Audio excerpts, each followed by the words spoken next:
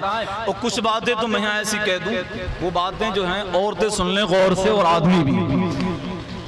जब दसवीं तारीख आती है, दसवीं तारीख, चाँद की, इस महीने की चाँद की दसवीं तारीख जब होती है तो औरतें अजीब अजीब काम अजीब अजीब नाटक क्या क्या धम धम पट पट पी पी पू पू क्या क्या उसमें होता है। लेकिन एक काम मैं बता दूँ, औरतों को भी और मर्दों को। मेरे नबी ने फरमाया कि दसवीं तारीख मुहर्रमुल हराम की, यानी आशूरा का दिन, मुहर्रम वाला दिन। उस दिन जो इंसान वज़ू करे वो वज़ू करने के बाद चार रकत नमाज़ पढ़े, क्या पढ़े? नमाज़ पढ़े चार रकत। और इस अंदाज में पढ़े कि अल्हम्दुल शरीफ के बाद हर रकत में ग्यारह बार सुल्ह पढ़े। ग्यारह बार पढ़े अल्लाह शरीफ पूरी सूरत। ग्यारह बार हर रकत में ग्यारह ग्यारह। गालिबन चवालीस हो जाएगी। हाँ। तो सरकार ने फरमाया कि अल्लाह ताला ऐसा करने वालों के पचास साल के गुना माफ़ फरमा देता है सुबह अल्लाह कितने साल के?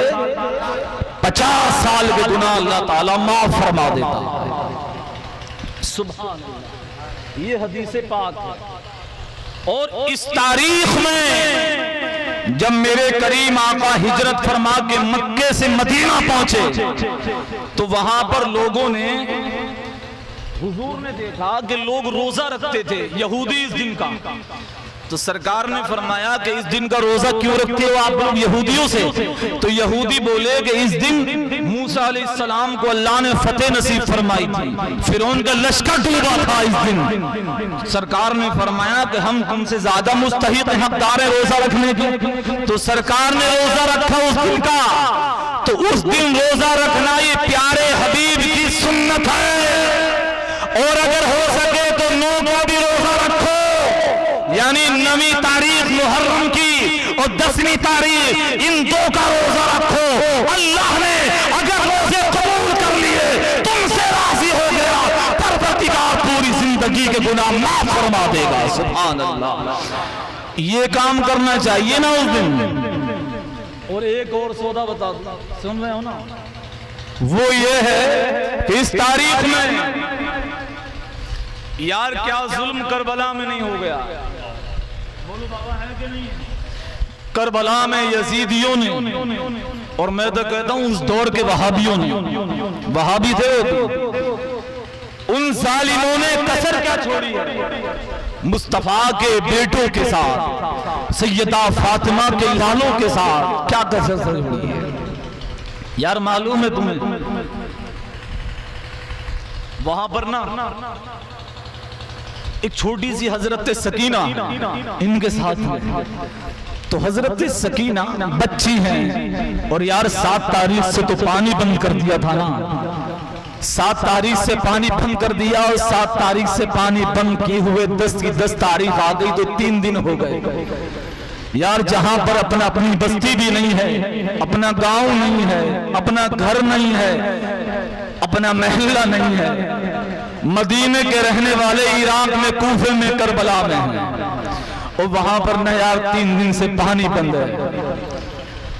और वहाँ पर लिंटर नहीं था ऐसी नहीं है। सूरत की तपिश मैदान कारसार की रेत को अंगारे बना देती थी। इतनी तेज हो रही थी। हज़रत सकीना ना बार बार कभी हज़रत अली अकबर का दामन पकड़ के बच्ची है ना अली अकबर 18 साल के जवान हैं इमाम हुसैन के लाडले इनका दामन पकड़ के ना कभी कहती भैया प्यास बहुत सताती है कि पानी नहीं मिलेगा तो यार बताओ बच्ची को क्या मालूम था कि यहाँ पानी में पहरा लगा दिया जालिमों ने हज़रत अली अकबर हैं अल्लाह अकबर कहते बाबा जान आप मना कर देते हो कि मत जाओ वहाँ को वो पानी पे पहरा लगाए बैठे। बाबा, अब यहाँ इन बच्चों की प्यास की वजह से चीखो पुकार हमारा दिल अंदर से बर्दाश्त करता नहीं। बाबा मुझे आप इजाज़त देना, मैं चला जाऊँ करबला में। यार, वो तो कह रहे थे, लेकिन हज़रत अब्बास आ गए। और हज़रत अब्बास आके बोले, हज़रत हुसैन से कि, भैया हुसैन आपसे मैं बार बार कहता हूँ कि ये सकीना प्यास की वजह से मेरे पास आके रोती है ना तो मेरा जिगर अंदर से फट जाता है बार बार। मुझसे कहती है, चाचा, कि पानी हमारे नसीबे से उठ गया है। पानी पीने मिलेगा ही नहीं क्या? कहाँ से आएगा? क्या होगा? ए भैया हुसैन, आप मुझे इजाज़त दे दें, ना रोके। मैं पानी लेने जाता हूँ। हज़रत हुसैन रोने लगते, कहते, अब्बास, अगर तुम वहाँ चले गए और तुम्हें इन्होंने शहीद कर दिया ना तो तुम मेरे भैया हो, तुम मेरे सहारा हो, मेरा बाजू हो तुम। अब्बास, मेरी तो कमर टूट जाएगी अगर तुम चले गए। हज़रत अब्बास बोले, भैया हुसैन ये बताओ कि मैं जाऊँ भी नहीं? और ये नन्नी सी बच्ची बार बार तड़प तड़प के जब कहती है ना, पानी पानी। इसकी जबान ना खुश्क हो गई, बोला नहीं जाता। अब तो इजाज़त दे दे। हज़रत हुसैन अभी खामोश खड़े थे। हज़रत जैनब जो हज़रत अब्बास, हज़रत हुसैन की बहन है ना, इनसे अब्बास बोले कि, बहन जैनब, क्या मैं चले जाऊँ पानी लेने? कहा, भैया अब्बास हज़रत हुसैन का सहारा हुआ। आप अगर चले गए तो ये यजीदी भैया हुसैन पे क्या जुल्म यहाँ घुस के करेंगे? कोई खबर नहीं किसी को। काफ़ी देर हो गई यार।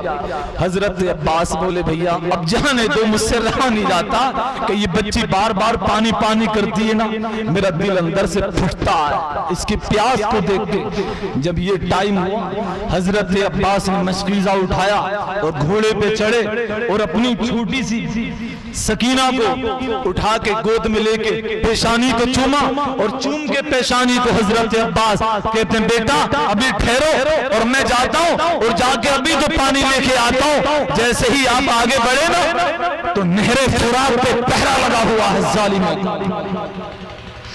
और नहर फुरात जो दरिया है, उससे पहले फौज लगी है। यार, मैं कहता हूँ, ऐसा जुल्म तो हिंदुस्तान में आज को हत्याचारी भी नहीं कर पाएगा कि जहाँ तीन दिन की प्यास तड़पा रही हो और वहाँ पर पानी बह रहा हो। लेकिन बाईस बहत्तर लोगों के प्यास को प्यास को ना देखा, उन्हें प्यास से तड़पाने के लिए, बाईस लोगों पे जुल्म करने के लिए बाईस हज़ार फौज लगी हुई है। यहाँ बहत्तर लोग हैं।